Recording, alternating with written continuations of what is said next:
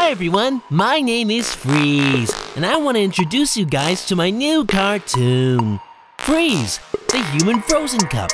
Coming soon, get ready!